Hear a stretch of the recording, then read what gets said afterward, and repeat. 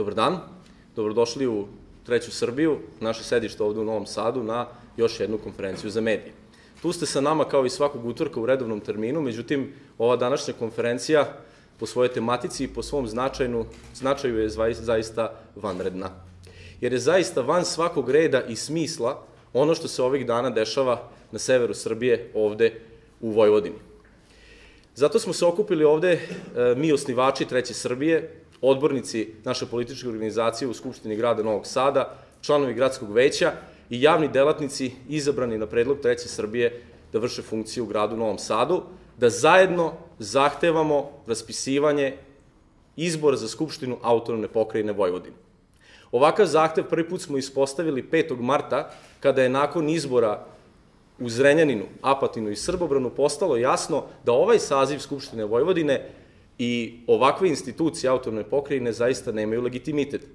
Danas su te činjenice još jasnije s obzirom na rezultate izbora u Kovinu, na rezultate izbora za mesne zajednice u Novom Sadu, kao i na ponašanje e, predsednika vlade Bojana Pajtića koje je zaista neodgovorno, zlonamerno i destruktivno.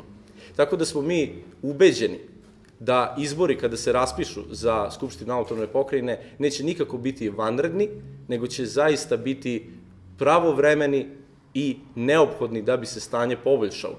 Nešto više o našim razlozima za ispostavljanje ovakvog zahteva reći će vam gospodin Miroslav Parović, šef odborničke grupe Treće Srbije u Skupštini grada Novog Sada i savjetnik gradonačelnika. Gospodine Paroviću, izvolite. Hvala.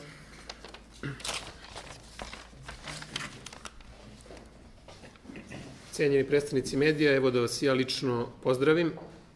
I pre bilo čega što bih rekao, zaista želim da izrazim najdublje izraze saučešća s porodicama svih onih koji su danas stradali u Velikoj Ivanči i da zaista izrazim veliko žaljenje zbog činjenice da u srpskom društvu imamo i takve pojave koje do sada nisu bile baš svojstvene ovoj državi i ovom narodu, ali i takva jedna stvar zaista pokazuje u koliko se lošem stanju nalazi srpsko društvo i srpska država i da smo mi svi ovako kolektivno zaista na ivici stabilnosti kako država, tako i pojedinci, te zaista zadatak svih nas koji se bavimo politikom i koji smo uzeli na sebe zaista jedno teško breme odgovornosti za vođenje ovog naroda i države u očigledno preteškom trenutku, jeste da uradimo sve da se stanje u naciji i u državi popravi, i posebno moramo voditi računa o tom psihičkom stanju nacije, jer očigledno je da će nam se ovakve stvari, nažalost, dešavati i da mi kao pojedinci više ne smemo da sa sebe skidamo odgovornost, jer zaista kada se ovakve stvari dese, svi smo mi pomalo krivi. Tema kojom ćemo se mi danas baviti može se slobodno svrstati i dobro se naslanja i na taj jedan veliki, rekao bi, zločin koji se danas desio u Velikoj Ivanči. Naime, neodgovorni ljudi koji se bave politikom u državi Srbiji, koji nažalost e, imaju te funkcije koje su veoma značajne, nam iz dana u dan pokazuju i dokazuju da je zaista vreme da izvršimo jednu smenu na političkoj sceni Srbije, da dođe neka nova i drugačija generacija ljudi, mnogo odgovornija nego li oni koji su danas na vlasti. Naime, Treća Srbija je odlučna da spreči dvojac Pajtić Čanak, da nastavi da pleše ovaj svoj tango do nezavisnosti Vojvodine. Jer mi smo apsolutno svesni i vidimo da oni plešu po istim onim taktovima kojima su tokom 90. godina svoj tango do nezavisnosti Crne Gore plesali Milo Đukanović i Slavko Perović. Naime, vidimo da Nena Čanak služi da kao ledolomac da nekakve snažne, često antidržavne izjave, kao što je bila antidržavna izjava o Vojvođanskom proleću koja je data pre nepunih mesec dana, a da onda posle toga relativno brzo Bojan Pajtić dolazi na te pozicije i da realizuje sve ono što nam Čanak najavljuje.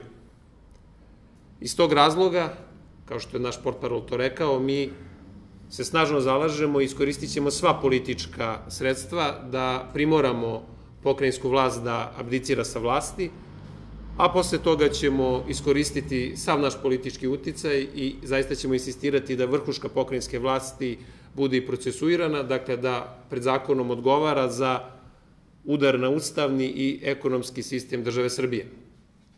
pet je ključnih razloga zbog kojih mi u ovom trenutku tražimo raspisivanje vanrednih pokrajinskih izbora. Prva stvar je aktuelna i pokazuje svu neodgovornost pokrajinske, trenutne pokrajinske vlasti, jeste ta priča o Vojvođanskom proleću, jeste ta priča o praktično internacionalizaciji pitanja statusa pokrene Vojvodine u onom trenutku kada država Srbije i njeni organi vode možda i odsudne pregovore o državnom integritetu i suverenitetu Srbije.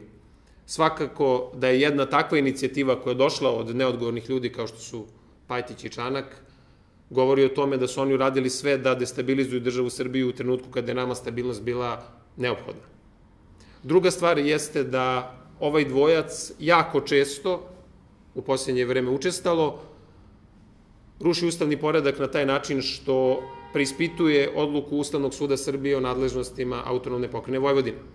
Postavlja se pitanje ako za vlast u autonomnoj pokrene Vojvodine Ustavni sud nije vrhovni organ, dakle onaj organ koji se pita o ustavnom statusu države Srbije, ko je onda? Da li to oni hoće da internacionalizuju pitanje ili pak hoće da prave neki svoj posebni ustav i možda neki novi ustavni sud? Treća stvar koja je veoma važna i koja je takođe aktuelna jeste da je vrhuška pokrajinske vlasti izvršila praktično ekonomski državni udar time što je opljačkala razvojnu banku Vojvodine i time nam dala odgovor na ono pitanje di su naši novci. Dakle, naši novci su u njihovim džepovima. I to se vidi kroz pljačku više stotina miliona evra u Razvojnoj banci Vojvodine, koja je od juče u stečaju, i u nekoliko fondova koji su bili pod vlasti pokrajinske, pokrajinskog rukovodstva. Četvrta stvar je akutni problem u Severnoj Srpskoj pokrajini, a to je da njene elite ili kvazi elite već duži niz decenija unazad zlopotrebljavaju ideju Vojvodine. Jer je ideja Vojvodine nastala kao ideja Srpske Vojvodine, i pre svega kao težnja srpskog naroda, pa i neki drugi, kao što su Bunjevci i Slovaci, koji su živjeli na ovoj teritoriji unutar Austro-Ugarske monarhije i koji su 1848-49. u revoluciji izborili te kulturne, državne, ekonomske i sve druge povlastice koje su tada dobili i koji su uobličili u jednu tvorevinu koja se tada zvala Srpska Vojvodina, a čiji je krajnji cilj bio prisedinjenje tadašnjoj državi Srbiji. I peta stvar koja je takođe veoma važna jeste da je pokrajinska vrhuška izgubila svaki demokratski legitimitet time što je praktično izgubila sve izbore od 6. maja na ovamo.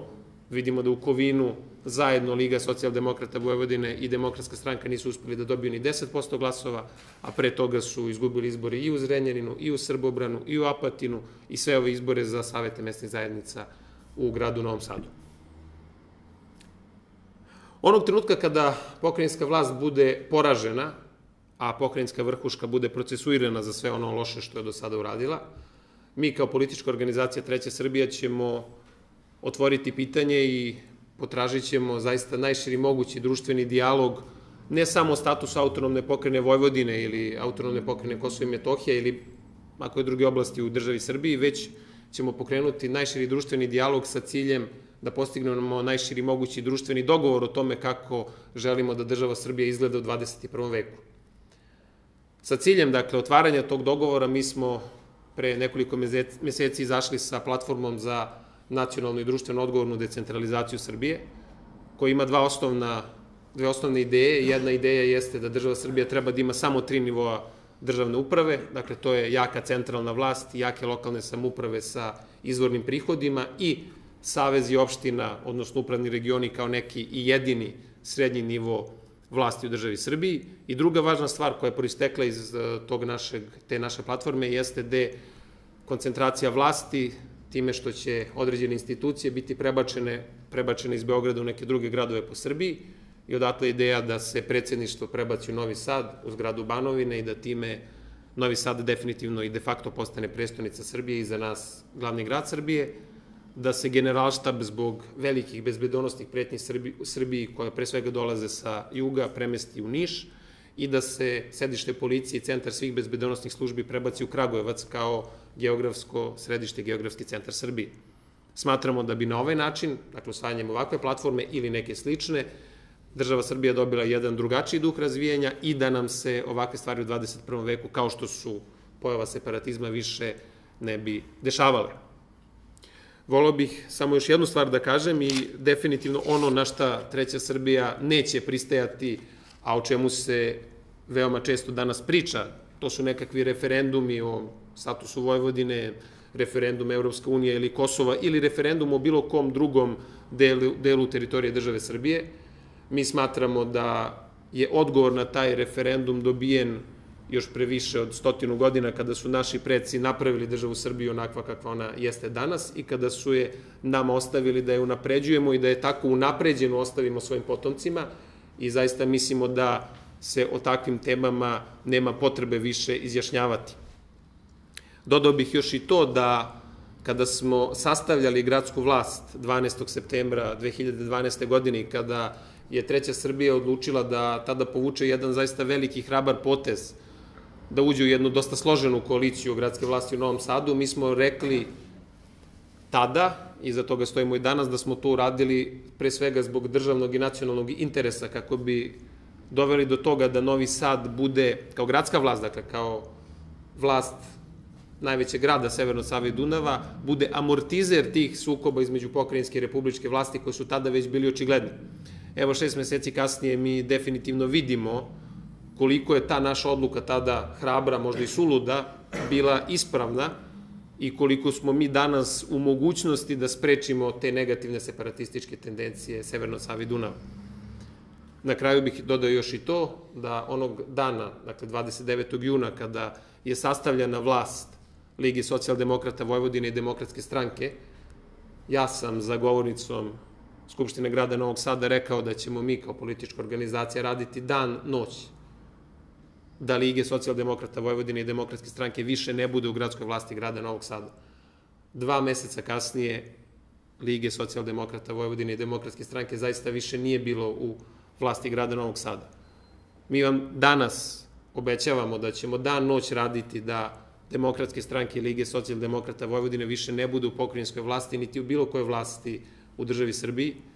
Mislim da nam na bazi prethodnih iskustava sa nama i svega onoga što smo govorili, a kasnije ispunili, možete zaista verovati da će to tako na kraju biti. Zahvaljujem.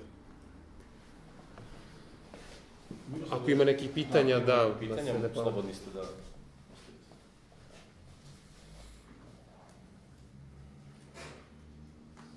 Ima, hvala vam, izvolite. Samo jedno pitanje, konkretno za, za gospodina Parovića, rekli ste da ćete se svim političkim sredstvima boriti za, za promjenu vlasti na pokrajinskom nivou. Na kraju krajeva takve inicijative su se došle iz drugih stranaka, takođe konkretno mislim gospodina Mirovića. Čini se sa neke strane da je Pajtić trenutno i njegova administracija potpuno nedodirljiva u, u, u, smislu koja su to sredstva kojima možete izvojevati promjene na, na pokrajinskom nivou? Pa imajući u vidu činjenicu da vlast uh, u pokrajini koja je najavila Vojvođansko proleće, pošto očigledno nema nikakvo utemeljenje u narodu Severnog Save i Dunava se svodi praktično samo na Banovinu i da čitavo Vojvođansko proleće se u stvari svodi na proleće u Banovini. Međutim, bez obzira što je to tako lokalizovano, dakle samo praktično u trenutku na jednu zgradu Severno Save i Dunava, to je Banovina, zgrada Banovina u Novom Sadu, da su oni opasni zbog toga što kontrolišu deo medija i što mogu uvek da naprave međunarodne probleme kakve se trude očigledno da naprave kako bi sprečili dalje istrage povodom slučaja Razvojne banke Vojvodine i sličnih slučajeva u kojima su oni doguše upleteni. Politička sredstva koje ćemo mi primeniti su jasna i sva ona koja su i do sada bila korišćenja, to su skupovi, leci, plakati i sav onaj politički pritisak koji se može sprovesti, a da ne prelazi u nešto što, čemu su inače pripadnici Demokratske stranke Lige socijaldemokrata Vojvodine bili ranije skloni, a to su i nasilje na ulicama i pretnje i ostalo, mi se time nećemo baviti jer smatramo da je sasvim dovoljno da se svim ovim demokratskim metodama poslužimo i da će oni kao zaista višak u ovom trenutku na političkoj sceni Srbije pasti sami od sebe.